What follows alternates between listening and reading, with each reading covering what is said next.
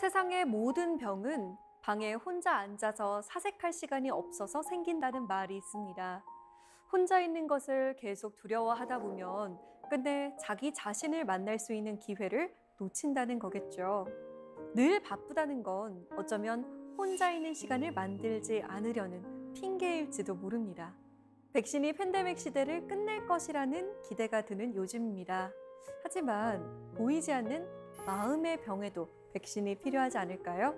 내면 리더십 신상원 코치와 오늘 함께합니다.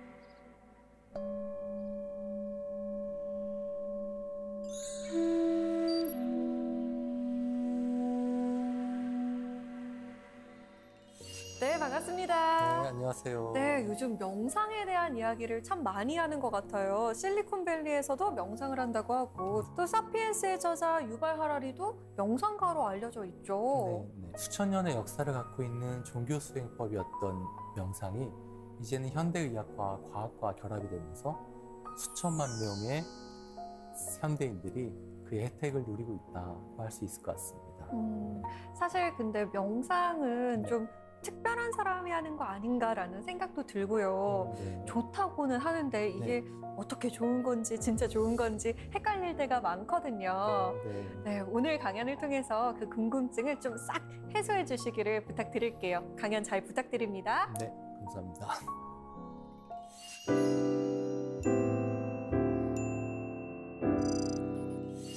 오늘 제가 전해드릴 이야기는 마음 챙김, 명상, 마음의 백신이라는 주제입니다. 제 일에 대한 얘기보다는 제 삶에 대한 얘기부터 시작하는 게 좋겠다 싶었습니다. 마음이 아파서 방황했던 20대, 그리고 마음의 백신으로 마음을 치유했던 이야기를 먼저 시작하고자 합니다.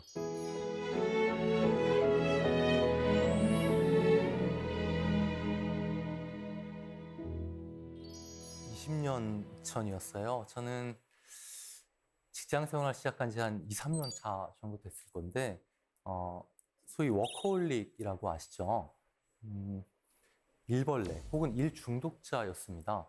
사무실에서 이렇게 일을 하다가 갑자기 심장이 엄청나게 뛰기 시작했습니다.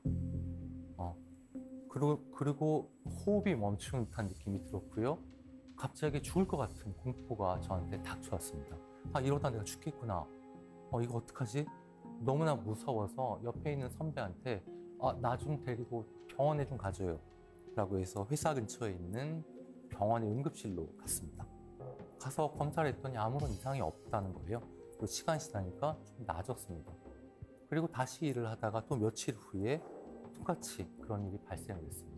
죽음의 공포가 저를 덮쳐왔고 저는 또다시 병원으로 갔습니다.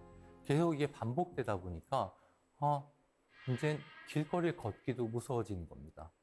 그래서 음, 전체 검사를 다 해봤죠. 어, 전신 MRI를 찍고 모든 검사를 다 해봤는데 아무 이상이 없다는 결론이 났습니다. 그래서 저는 아, 결국엔 정신과를 찾아갔고요. 공황장애라는 진단을 받았었습니다. 약을 먹고 어느 정도 효과는 있었지만요. 저의 삶과 일에 대한 불안이 계속 지속이 됐었습니다. 그러다 보니까 나중에는 신경과민과 어, 그 이름도 굉장히 좀 희한한 병인데요. 청각과민이라는 진단까지 받았었습니다. 온몸의 감각이 너무나 민감하게 작동을 해서 삶을 살기가 어려웠었죠. 굉장히 절박한 시절이었습니다. 왜냐하면 일을 휴직을 해야 되나? 혹은 계속 직장을 다녀야 되나? 라는 그 경계에 섰었으니까요. 그 절박함이 아마도 제가 오래전에 이론적으로 배워왔던 그런 마음 챙김 명상이란 걸 실제로 실행을 해보자. 이런 결심을 하게 됐던 것 같습니다. 그로부터 6개월, 7개월 정도가 지났었습니다. 저를 굉장히 힘들게 하고 아프게 했던 그 증상들이 스스로 사라졌습니다. 과연 그 중간에, 그 과정에는 어떤 일이 있었을까요? 제가 오늘 여러분들에게 전해드릴 이야기는 바로 이 질문에 대한 답입니다. 왜냐하면 우린 지금 어, 코로나 시대를 살고 있잖아요. 굉장히 힘든 시기를 우리는 겪어가고 있습니다. 이 힘든 시기를 겪어가는 우리 모두에게 어쩌면 저의 경험이 조금이라도 도움이 될 수 있을까 싶었습니다. 코로나 레드라는 말이 많이 들리더라고요. 어, 코로나 레드는 아마도 막 화를 내서 이유 없는 화에 시달리는 그런 상태일 겁니다. 코로나 블루는 우울함을 뜻하고요. 그리고 최근에는 코로나 블랙이라는 용어도 들어봤었습니다.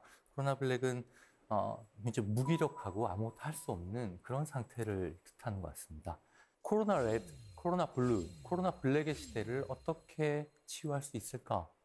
라는 질문에 미국의 유명한 다큐멘터리와 여러 책들은 어, 물론 첫 번째로는 백신의 출현, 백신을 사람들이 접종을 하는 걸 얘기하고 있었는데요. 그 다음으로 혹은 더 중요한 것으로 마음의 백신에 대해서 얘기를 하고 있었습니다. 그리고 그 마음의 백신은 무엇이냐? 라는 질문에 명상을 들고 있었습니다. 그런데 코로나 시대라서 단지 명상이 각광을 받고 있는 것만은 아니더라고요. 이미 30년 전부터 현대사회에 명상이 굉장히 큰 도움을 줄 수 있다라는 것이 연구되고 어, 또 많은 사람들이 명상을 하고 있었습니다. 마음 챙김 명상 혁명이 일어났다. 2014년에 미국 타임지의 특집 기사의 제목입니다. 서구 사회, 미국과 유럽을 중심으로 하는 서구 사회에는 이미 30년 전부터 마음 챙김 명상이 어, 굉장히 보편화되고 사람들에게 삶에 있어서 훌륭한 도구로 자리 잡고 있었습니다. 애플의 스티브 잡스 모두 잘 아시죠? 마이크로소프트의 빌 게이츠, 방송인 오프라 윈프리, 사피엔스의 유발 하라리, 그리고 페이스북의 마크 저커버그, 이 많은 기업인들과 그리고 스타들이 마음챙김 명상을 자신의 성공과 그리고 삶의 행복의 비결로 꼽고 있었습니다. 연극의회에서는 회의를 시작하기 전에 명상을 하는 시간을 갖고 있다고 합니다. 그리고 영국 공립학교의 마음챙김 명상을 어, 프로그램으로 도입하는 그런 법안이 영국에서는 통과가 되기도 했었고요.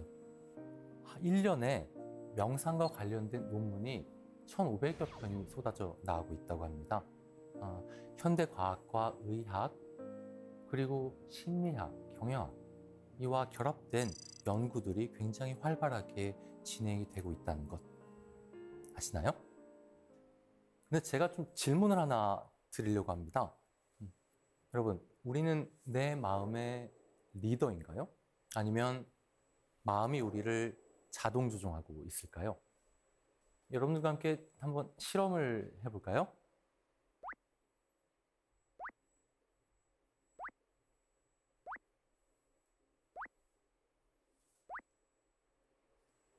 아, 어떠셨나요? 어, 이거 방송사고 아니야? 이런 생각이 자동적으로 올라오셨나요? 어, 혹은, 어, 갑자기 불안해지기도 했을 겁니다. 왜 갑자기 말을 안 하지? 방송인데? 자동적으로 스마트폰으로 손이 갔을지도 모릅니다. 음, 갑자기 어제 있었던 어, 직장에서 혼났던 일이 생각나서 어, 거기에 대한 후회라던가 죄책감 이런 거에 시달렸을지도 모르고요. 이 수많은 일들이 자동적으로 일어났습니다. 단 10초의 시간이었는데 말이죠. 우리의 마음은 바다 위에 둥둥 떠다니는 배와 같다고 합니다. 어제 일에 대한 후회나 혹은 아주 오래전에 있었던 죄책감, 미래에 대한 근심과 불안 같은 생각이 들어오면은 바로 바다에 풍랑이 칩니다. 생각은 우리의 의지와 상관없이 자동적으로 일어나죠. 감정도 마찬가지입니다. 화나 짜증 같은 감정은 큰 파도를 일으킵니다. 죄책감이나 자기 비난, 이런 감정들은 배를 침몰시키려고 합니다. 습관은 말할 것도 없이 배를 이리저리 끌고 다니죠.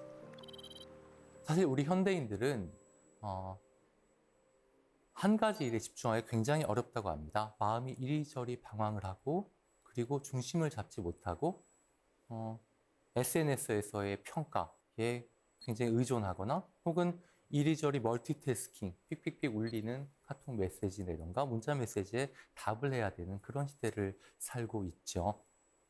하버드대학교의 심리학 교수이자 마음챙김의 어머니라고 불리우는 엘렌 랭어 박사는 이러한 상태를 마음 놓침 상태라고 얘기를 합니다. 혹은 자동 조종 상태라고 얘기를 하는데요. 우리 마음의 조종관을 내가 아니라 어, 자동 조종자들이 다 잡고서 이걸 어디론가 끌고 가고 있는 겁니다. 우리의 생각들, 습관, 감정, 선입견, 다른 사람들이 나에게 내리는 평가 등등이 나를 자동 조종해서 어디론가 끌고 가고 있는 거죠. 제가 좀 재미있게 약간 과장을 해서 마음 놓침 상태를 몸으로 한번 표현을 해볼게요. 네. 아마 이렇게 될 겁니다. 마치 배에 이렇게 흔들리는 풍랑처럼 이렇게 막 움직일 거예요. 네. 이게 마음 놓친 상태라고 어, 해본다면요. 이런 상태에서 만일에 세상을 본다고 생각을 해보세요. 세상도 똑같이 이렇게 보일 겁니다. 그렇죠. 내가 흔들리고 있으니 세상도 흔들리는 겁니다. 그와 반대로 만일에 이런 상태에서 세상을 본다고 상상을 해보세요. 내가 아니라 세상이 움직이고 있고 나는 세상이 움직 어떻게 움직여 가고 있는지를 관찰하고 볼 수가 있게 됩니다. 비유하자면 이 상태가 마음 챙김 상태라고 할 수가 있습니다. 마음 챙김은 이처럼 습관, 감정, 생각에 자동적으로 반응하지 않고 내가 의식적으로 선택을 할 수 있는 상태입니다. 그리고 마음 챙김 명상은 마음 챙김 상태가 될 수 있도록 하는 방법이자 연습법입니다. 나치 시대 아우슈비츠 죽음의 수용소에서 생존하고 그 이후에 로고테라피, 어, 의미 치료라는 훌륭한 심리치료 기법을 창시한 빅터 프랭클은 이렇게 얘기를 했습니다. 자극과 반응 사이에 공간이 있다. 그 공간에 우리의 반응을 선택하는 힘이 있다라고요. 자극이 오면은 바로 반응을 합니다. 이것은 아까 말씀드렸던 마음 놓침 상태인 거죠. 하지만 자극이 왔을 때 바로 반응을 하지 않고 중간에 공간을 만듭니다. 이 상태에 의식적으로 우리가 무엇인가를 선택할 힘이 주어지는 거죠. 나에게 리더십이 주어지는 겁니다. 근데 그렇다면은 아, 이런 질문을 저희가 던질 수 있겠죠. 그 공간은 과연 어떻게 만들 수 있을까요? 가장 좋은 방법은 몸에 닻을 내리는 겁니다. 우리가 지금 현재 몸의 감각에 주의를 기울이는 것입니다. 어? 이렇게 쉽다고요? 너무 간단하다고요? 어, 여러분들 한번 같이 해볼까요, 그러면요? 여러분들 지금 앉아 계신데요. 의자와 닿아 있는 부분에 한번 주의를 줘 보시겠어요? 그 안에 느낌이 어떤지 한번 그냥 주의를 줘서 관찰해 보십시오. 한번 느껴보세요. 혹은 호흡에 따라서 들락날락거리는 배에 한번 주의를 줘 보십시오. 느껴지시죠? 네. 그럼 거기에 주의를 조금 더 오래 머물 수 있도록 해볼까요? 한번 노력을 해보십시오. 그곳에 오래 주의를 머물 수 있게 하는 좋은 방법은 어, 그곳의 느낌을 계속적으로 변화를 관찰해 가면서 어떤 느낌이 있는지 이름을 한번 붙여보는 겁니다. 해보시겠어요? 예를 들어 딱딱하면은 딱딱함 어, 배가 부풀어 오르면은 아 배가 부풀어 오르는구나 수축하는구나 라고 한번 이름을 붙여 보십시오. 그러면서 주의를 조금 더 그곳에 오래 머물도록 해보세요. 그리고 제가 똑같은 실험을 한 번 더 해보겠습니다. 지금부터 그 상태 그대로 10초간 제가 다시 정지해 보겠습니다.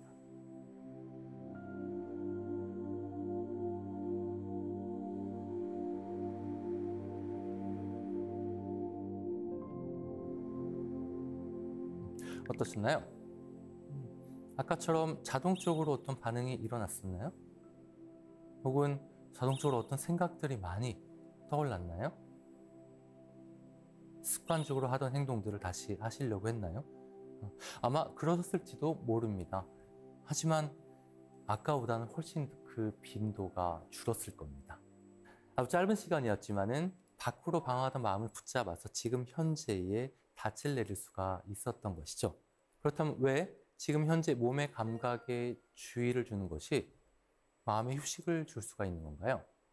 지금 현재 몸에 느껴진 감각을 알아차리면은 우리 뇌에 있는 복잡한 생각을 담당하는 좌뇌의 부분들이 어, 잠시 그 활동을 멈춘다고 합니다. 그리고 우뇌에 있는 공간 지각을 담당하는 부분이 활동을 시작한다고 합니다. 말 그대로 공간을 만드는 것이죠. 오늘 여러분들이 이 강의에서 알아차림 이것 하나만 가져가신다면 저는 이 강의가 성공했다고 말씀드릴 수 있습니다.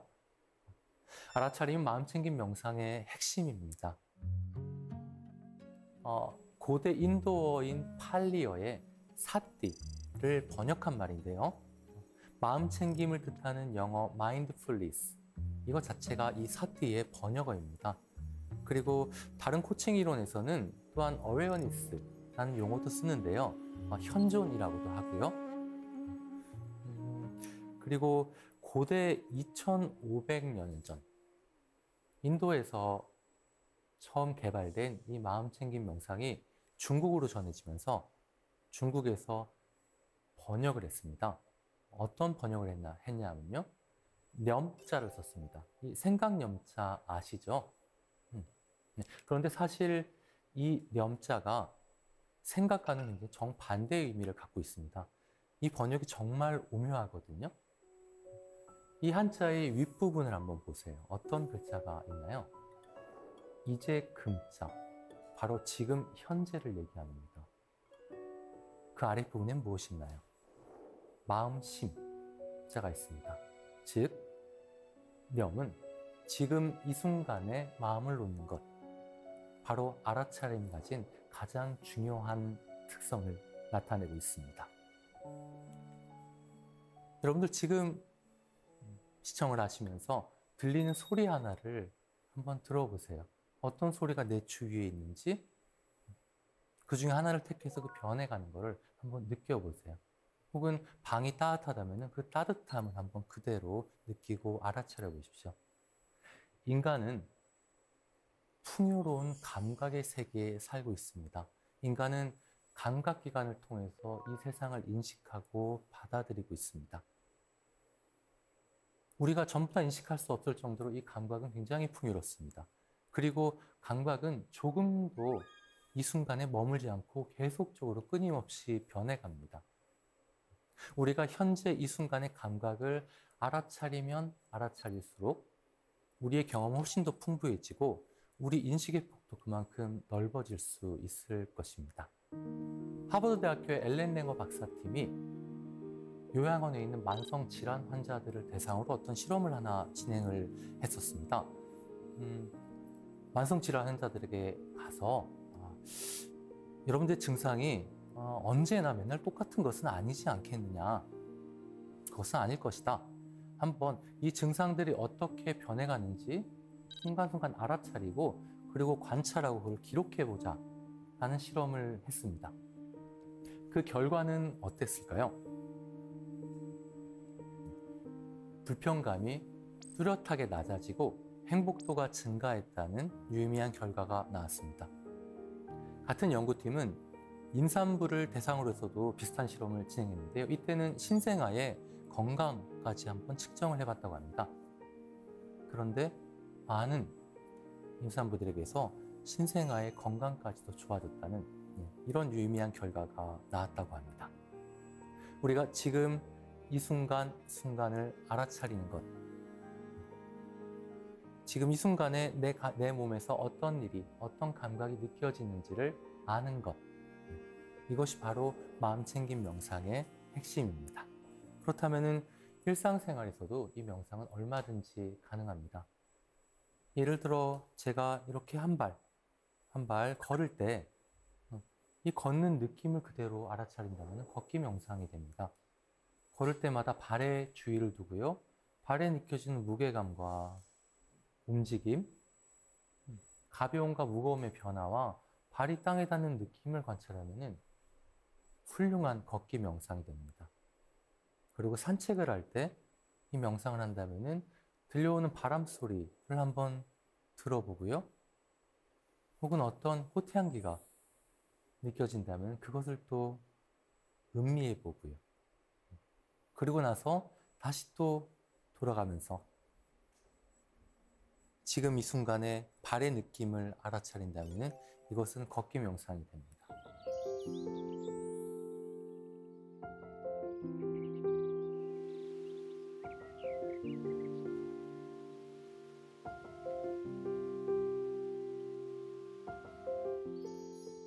이제 짧게 마음 챙김 명상 실습을 해보는 시간을 갖겠습니다. 네.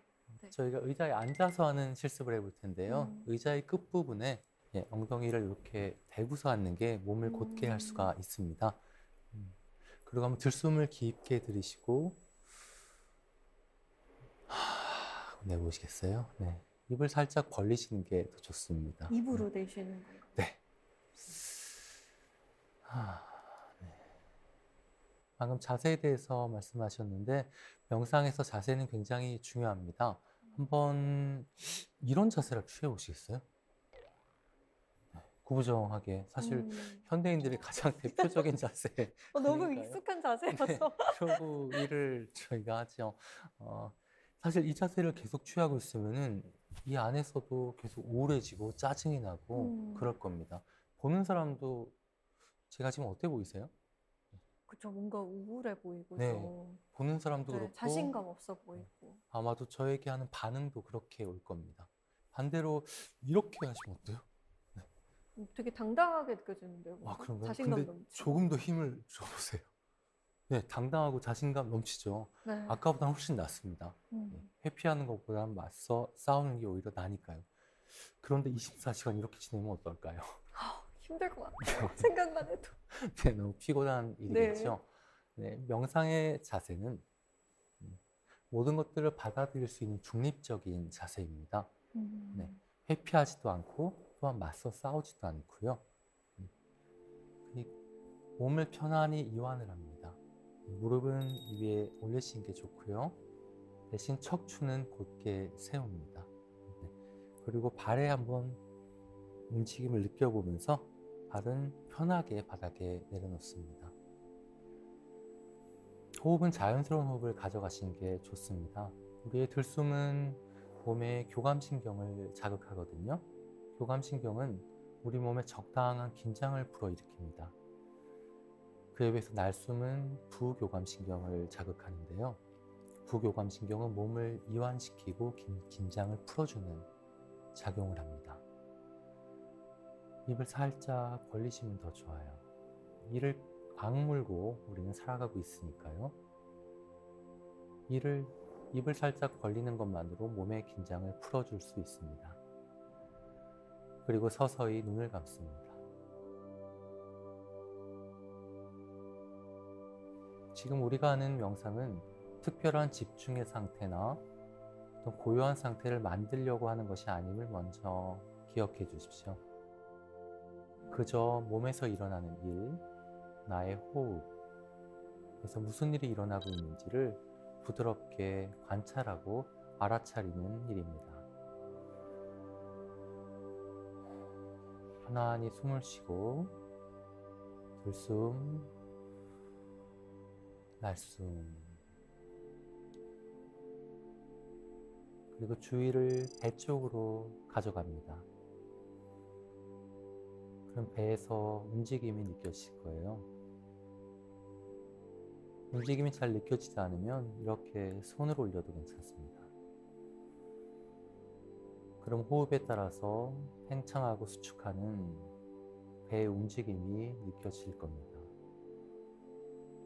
어떤 움직임이 있는지, 어떤 느낌이 있는지 그대로 한번 느껴보십시오. 그리고 배가 부풀거든 팽창 혹은 들숨 배가 수축하면은 수축하는 대로 수출 혹은 날숨 이렇게 마음속으로 부드럽게 이름을 붙여봅니다. 이제 주위를 바닷가 닿아 있는 발바닥으로 가져갑니다. 만일 가려우면은 가려움 하고 이름을 붙여봅니다. 가렵다고 해서 즉각적으로 행동으로 옮기는 것이 아니라 그대로 그 가려움이 어떻게 변화하는지를 따라가 봅니다. 딱딱하면 딱딱함, 부드러우면 부드러움, 이렇게 있는 그대로 알아차립니다.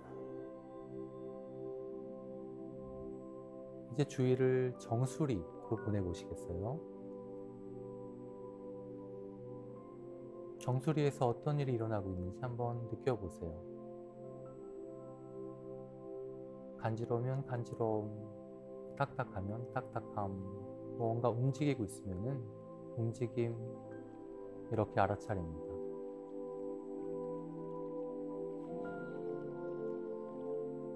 이제 주위가 머리를 따라서 눈썹을 지나고 눈꺼풀을 지납니다. 그곳에 떨림을 한번 느껴보시고요. 다시 코와 인중을 지나서 입술을 지납니다.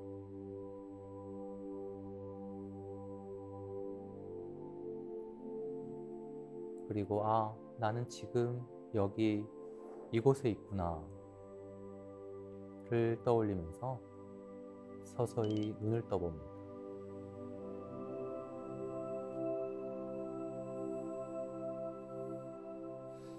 어떠셨나요? 마음이 좀 편해지셨나요? 네. 제- 제 자신에게 좀 집중하는 시간이 없었는데, 저의 자신을 머리끝부터 발끝까지 이렇게 찬찬히 들여다본 느낌이에요. 네. 자기 자신을 온전히 우리가 있는 그대로 주의를 기울이고 알아차리는 시간이 굉장히 부족할 음. 겁니다. 음, 사실 마음 챙김 명상, 이 짧은 명상이라도 우리가 5분 정도 하루에 이 시간을 갖는다면은 사실 그 시간만큼 나 자신을 온전히 사랑해주는 시간이 없는 것 같아요. 음. 네.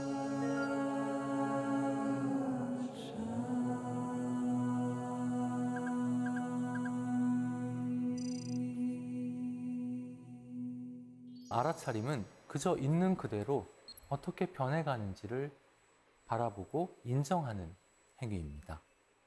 음, 비판단. 이것이 알아차림이 갖고 있는 가장 큰 특징입니다. 그저 편견 없이 있는 그대로 나 자신을 바라보는 행위. 명상을 하다 보면 주의가 달아나게 됩니다. 예를 들어 호흡에 집중하거나 몸의 느낌을 알아차리고 있는데 갑자기 어떤 향기가 느껴집니다.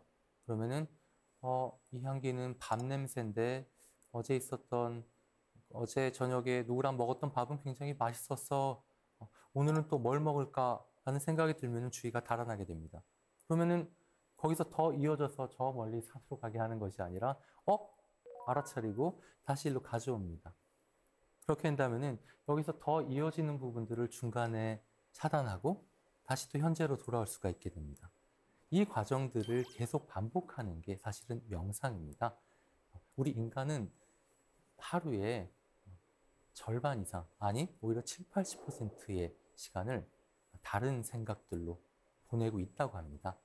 그 중에서 일부만이라도 계속 가져와서 현재에 머물 수 있게 하는 것, 이것 자체가 명상입니다. 이 과정이 반복되면은 우리의 뇌가 튼튼해진다고 합니다. 하버드 대학교의 사라 라자르 박사팀의 연구에 의하면요. 이렇게 주의, 멀어진 주의를 다시 가져오고 하는 이 과정의 반복 속에서 우리 대뇌에서 자기조절력과 그리고 인지 기능을 담당하고 있는 그 영역이 실제 해부학적으로 두꺼워진다는 것을 연구하였고 그 결과를 발표하였습니다. 그렇게 알아차림의 근육이 강화되고 알아차림의 힘이 커지면은 명상 중에 때로는 내 안에 있는 목소리들을 들을 수가 있습니다. 우리 내면에는 끊임없이 어떤 목소리들이 계속 속삭이고 있습니다. 난 안 돼. 이건 하지 마. 난 할 수 없어. 두려워. 이건 다 나 때문이야. 혹은 반대로 이건 다 그 사람 때문이야. 이런 목소리들이 끊임없이 우리 안에 속삭이고 있습니다. 우린 이 내면의 목소리의 명령을 덥석 물어서 바로 반응을 합니다. 혹은 그 목소리가 너무 싫어서 배척하거나 거부합니다. 내 안에 있는 목소리들을 거부하고 싫어한다는 것. 그것은 나의 자존감을 무너뜨리는 일일 겁니다. 또한 그 중에 목소리 하나만 내가 가져와서 그것이 나야. 이것이 나의 굳건한 정체성이야. 라고 살아갈 때 만일에 그 정체성이 무너진다면 그것 역시 우리의 자존감을 무너뜨리는 일일 것입니다. 알아차림은 자극과 반응 사이에 공간을 만드는 것이라 하였습니다. 그 공간은 경청의 공간이기도 합니다. 그 공간에서 우리는 우리 내면의 목소리에 잠깐 귀를 기울이고 알아차림으로 판단 없이 배척하거나 거부하지 않고 혹은 너무 좋아서 덥석 울지도 않고요. 그냥 그 목소리를 들어보고 아, 네가 나의 일부구나 라고 인정할 수 있습니다. 그리고 그 목소리들이 스스로 존재하게, 즉 자존하게 할 수 있을 것입니다.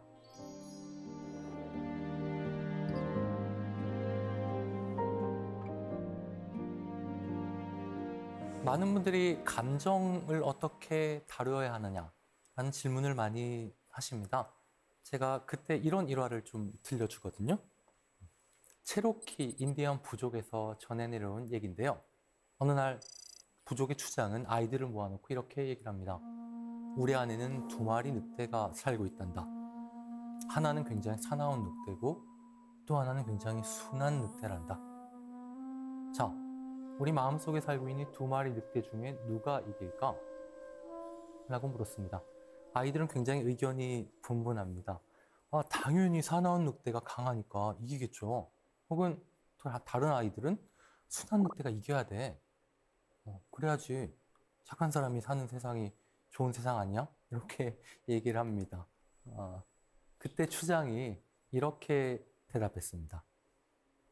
어떻게 대답을 했을까요? 네가 먹이를 주는 쪽이 이긴단다. 라고 대답을 했습니다. 어, 네, 이 이야기를 들으시고 혹시 이렇게 생각하실지도 모르겠습니다. 아, 그렇다면 화나 슬픔, 짜증, 이런 부정적인 감정은 먹이를 주지 말고 기쁨이나 즐거움, 이런 긍정적인 감정에만 아, 먹이를 줘야겠구나. 이런 감정만 강화해야겠구나. 라고 할지도 모르겠습니다. 아, 그런데 우리 안에 이미 두 마리 늑대가 살고 있다고 추장님은 얘기하시잖아요. 만일에 그 중에 한 마리에게 먹이를 안 준다면요. 이미 살고 있는데요. 나중에 훨씬 더 크게 물어뜯을 겁니다. 우리 안에서 화가 날 때 이를 계속 억누르고 억압한다면 어떻게 될까요? 여러분 화병 걸려보신 적 있으신가요? 여러 가지 몸의 증상으로 나타날 겁니다. 그리고 심한 경우에는 이 억압된 화가 다른 사람들, 불특정 다수를 대상으로 하는 묻지마 폭행 같이 끔찍하게 나타날 수도 있을 겁니다. 이 이야기의 중요한 교훈은 이겁니다. 우리 안에는 한 마리가 아니라 두 마리의 늑대가 살고 있다는 것과 그리고 더 중요한 것은 먹이를 주는 것은 다른 사람이 아니라 바로 나이다 하는 점입니다. 미국 미스콘신 대학교의 리처드 데이비슨 박사의 연구에 의하면요. 우리 뇌에는 접근과 회피의 반응을 관장하는 신호가 있다고 합니다. 우리가 좋아하는 것에 접근하려고 한다면 우리의 좌뇌의 앞쪽에 있는 곳에 신호가 활성화되고 우리가 싫어하는 것에서 회피를 하려고 한다면은 우내에 있는 신호, 이 앞쪽에 있는 신호가 활성화가 된다고 합니다. 여러분들 한번 너무나 화가 났던 기억이나 그런 경험을 한번 떠올려 보시겠어요? 너무 짜증나서 어, 막 얼굴이 저절로 찌푸려지는 사람을 떠올리셔도 괜찮습니다. 네. 한번 떠올려 보세요. 즉각적으로 몸의 변화가 일어날 것입니다. 그리고 어떤 행동을 막 하고 싶어질지도 모릅니다. 사실 얼굴을 찌푸리는 게 이미 행동을 하고 있는 것이죠. 네. 그때 우리가 마음의 닻을 몸에 내려야 될 때입니다. 자극과 반응 사이에 공간을 마련할 때입니다. 잠시 호흡을 해보시겠어요? 한 번의 호흡만으로도 공간을 만들 수가 있습니다. 그리고 몸에 일어나는 변화를 그대로 알아차려 보세요. 주먹이 불끈 쥐어졌을지도 모르고요. 몸에서 미간이 찌푸려지고 심장이 막 뛰고 가슴이 답답할지도 모릅니다. 그쪽으로 주의를 보내서요. 아, 이런 변화가 있구나라는 것을 관찰해 보십시오. 실제 감정은 감정 자체로 존재할 수가 없습니다. 감정이 우리에게 나타날 수 있는 것은 몸을 통해서만 나타날 수 있습니다. 그렇기 때문에 우리가 감정을 만날 수 있는 길도 이 몸밖에 없는 거죠. 어떠신가요? 약간 공간이 생겼나요? 바로 반응을 하지 않는 것, 그 공간을 마련해 주는 것, 이 부분은 굉장히 중요합니다. 이게 뇌과학적으로는 한 번의 호흡과 그 알아차림만으로 감정뇌에서 분비되는 스트레스 물질이 이 뇌 전체를 지배하게 되는 것을 중간에 중단을 시킵니다. 아, 내가 화가 났다. 와, 아, 화가 나타났구나. 이 둘은 굉장히 큰 차이가 있습니다. 첫 번째는 내가 화와 완전히 동일시가 돼버린 거죠. 두 번째는 화가 내 안의 일부로서 나타난 것이고 나는 화의 리더십을 가지게 되는 겁니다. 여러분들 그 영화 인사이드 아웃 혹시 보셨나요? 거기 안에 귀여운 캐릭터가 있잖아요. 버럭이라고 했나요? 네, 화나는 캐릭터가 있습니다. 이처럼 어, 우리 안에 있는 그 버럭이를 우리가 만나고 그리고 때로는 이 버럭이가 활동을 할 수 있게 해줄 수 있는 것이죠. 즐거움과 기쁨이라는 감정도 마찬가지일 겁니다. 내가 너무 즐겁다, 내가 너무 기쁘다 라고 할 때는 그 기쁨과 내가 일체가 되어버립니다. 그때 우리 뇌에서는 도파민이라는 중독 물질이 많이 생겨난다고 해요. 그래서 그 즐거움이 없어지면은 굉장히 허탈함에 빠집니다. 아마도 주위에서 너무나 밝고 즐겁게 늘 즐거운 분들을 본다면은 때로 그 뒤로 굉장히 우울하고 허탈한 모습까지 같이 보실 수 있을 거예요. 이처럼 즐거움의 감정이 우리에게 왔을 때 알아차림으로 그 즐거움을 대한다는 것은 이렇게 얘기하는 것이기도 합니다. 나와 함께 해주어서 고마워. 이제 너를 떠나보낼게. 다음에 네가 오더라도 집착 없이 너와 함께 할게. 마음챙김 명상은 이처럼 긍정과 부정의 가치 판단 없이 내 안에 있는 감정을 그대로 알아차리고 만나는 과정이라고 할 수가 있습니다. 저 자신의 마음의 아픔과 치유의 이야기에서 시작해서 명상에 대해서 긴 이야기를 나눌 수 있었던 것 같습니다. 그 치유의 시간 속에서 제가 명상을 통해서 변화했던 혹은 명상을 통해서 조금 더 내 자신에게 무언가 통찰을 주었던 것들을 나눔으로써 오늘 이 시간을 마치도록 하겠습니다. 첫 번째는 수용과 동의입니다. 모든 것은 변한다. 그렇기 때문에 그것을 내가 아주 오래오래 붙들고 있을 필요는 없다. 현재에 충실하면은 현재를 제대로 살면은 결과는 그에 따라서 알아서 오게 된다. 다음으로는 열림과 공감입니다. 어, 이 부분은 좀 설명하기가 약간 어려울 수도 있는데요. 사실 저는 에고가 굉장히 강한 사람이었습니다. 질투도 많고요. 그리고 자존감도 굉장히 높았습니다. 그런데 사실은 질투가 많다는 것은 제 자존감이 굉장히 낮고 상처받기 쉽다는 것이었더라고요. 그런데 상처받는 것은 나 전체가 아니었습니다. 내 안에 있는 어떤 특정한 부분이었습니다. 그리고 내가 그 부분들을 비난하고 있었기 때문에 다른 사람에게도 그것을 비난할 권리를 주었더라고요. 내 안에 비난받은 나에게 내가 거부하고 싫어했던 나에게 시선을 주고 그것을 바라보고 알아차린 그 과정 속에서 조금 더 열린 자세 그리고 공감할 수 있는 자세를 갖게 된 것 같습니다. 그리고 세 번째는 감사와 행복이었습니다.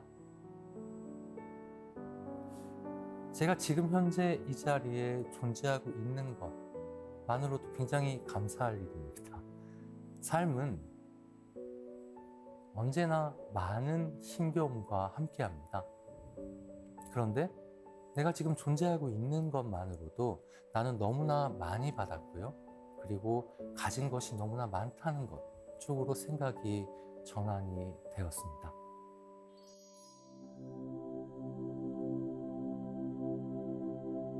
인간이라는 존재는 게스트 하우스와 같다. 매일 아침 새로운 손님이 도착한다. 기쁨, 절망, 슬픔, 그리고 약간의 순간적인 깨달음 등이 예기치 않은 방문객처럼 찾아온다. 그 모두를 환영하고 맞아들여라. 설령 그들이 슬픔의 군중이어서 그대의 집을 난폭하게 쓸어가 버리고 가구들을 몽땅 내가더라도 그렇다 해도 각각의 손님을 존중으로 대하라. 그들은 어떤 새로운 기쁨을 주기 위해 그대를 청소하는 것인지도 모르니까. 어두운 생각, 부끄러움, 후회. 그들을 문에서 웃으며 맞이하라. 지금 이 순간에 우리의 게스트하우스에 머물고 있는 손님들을 놓치지 마십시오. 그 손님과 함께 할 때 우리는 조금 더 행복할 수 있을 것입니다. 제 긴 강의 끝까지 경청해 주셔서 감사합니다. 여기서 마치겠습니다.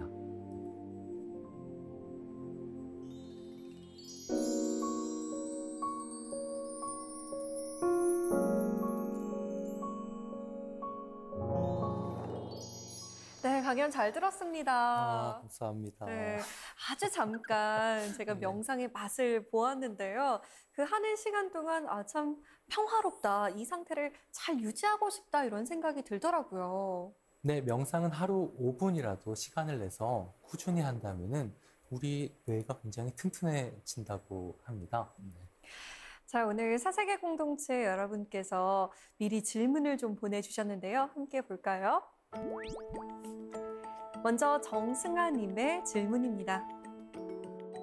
요즘 미디어에서도 그렇고 제 주변에서도 명상을 하는 사람들이 정말 많은데요. 그런데 명상이 정말 만병통치약 같다는 생각이 들어요. 정말 그런 건가요? 뭐 명상이 만병통치약일 수는 없겠지만 정말 뭐 두루두루 좋다는 얘기 정말 많이 들었거든요. 네, 음, 네, 그렇기 때문에 전 세계 수천만 명이 지금 수행을 하고 또 여러 가지 치유 기법들, 치료 기법들, 예컨대 어, PTSD, 예, 음, 나 아니면은 어, 스트레스 경감 프로그램 혹은 인지 치료, 주의력 집중 장애 치료 등등과 많이 결합되어 사용이 되고 있는 것 같습니다. 어, 어, 그런데 저는 좀 이런 말씀을 드리고 싶은데요. 만일에 명상이 정말로 만병통치약이라고 한다면은 네. 그런지 아닌지 실제 한번 해보시는 게 어떨까. 일단은 네. 네. 모르잖아요. 혹시 만병통치약일지도요. 그렇죠. 네. 자, 다음 질문 받아보겠습니다. 김승현님의 질문입니다. 명상을 하시는 분들은 마음의 평상심을 유지할 수 있다고 하시는데요. 신상원 선생님께서도 늘 명상을 하시는 편인가요? 화가 날 때도 바로 명상을 하는지 궁금해요. 저는 화가 날 땐 설거지를 합니다.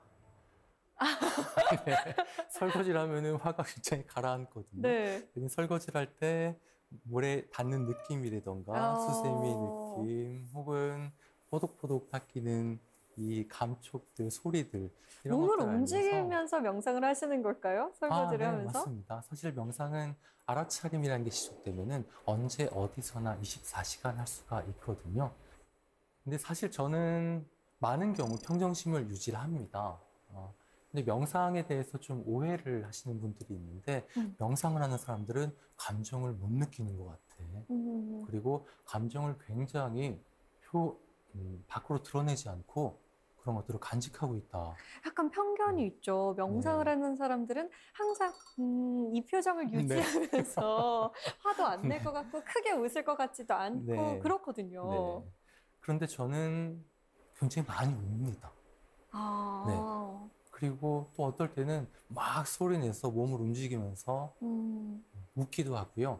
그리고 화가 날 땐 정말 주먹을 불끈 쥐고 음, 네, 화를 내기도 합니다. 명상은 내 안에 있는 감정을 그대로 인정하고 그 감정을 충분히 경험하는 것이기도 합니다. 그래서 예전에는 드러나지 않고 억압되어 있는 감정들을 조금씩 조금씩 계속 경험을 하니까 이제 일상생활에서도 그 감정들이 나타날 때, 아, 내가 지금 이 감정을 느끼고 있구나. 혹은 내가 이 감정을 지금 내가 표현할 수 있구나. 그런 거를 알면서 오히려 자유롭게 이 감정을 표현할 수 있게 되는 것 같아요. 음, 음. 그 순간순간의 감정에 충실한 것. 이게 명상의 효과가 아닐까 싶습니다. 네. 오늘 강연을 들으면서 아, 명상은 뭔가 특별한 사람들만 하는 것이다 라고 생각했던 저의 편견이 다 사라진 것 같습니다. 앞으로는 녹화를 하기 전에도 조금 명상을 해야 될 것 같다라는 생각이 듭니다. 오늘 강연 정말 잘 들었습니다. 감사합니다. 네, 감사합니다.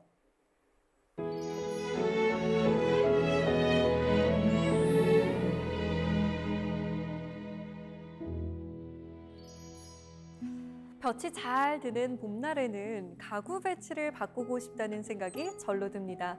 덩치가 큰 소파 같은 것에서부터 벽에 걸린 액자도 바꿔보고요. 또 침실 커튼도 바꿔 달고요. 꽃이 핀 화분이라도 새로 들이면 그럴듯한 봄집이 완성됩니다. 그 다음엔 창문을 활짝 열고 정신 번쩍 들기용 커피가 아니라 은은한 향이 나는 차를 천천히 우려보는 건 어떨까요? 지금 봄이니까요. 사색의 공동체 수미다. 저희는 다음 시간에 찾아오겠습니다. 고맙습니다.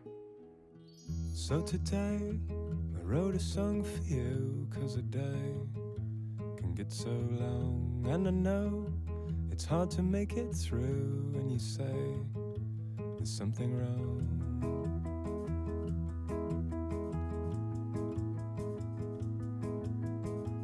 So I'm trying put it right, cause I want to love you with my heart. All this trying has made me tired, and I don't know even where to start.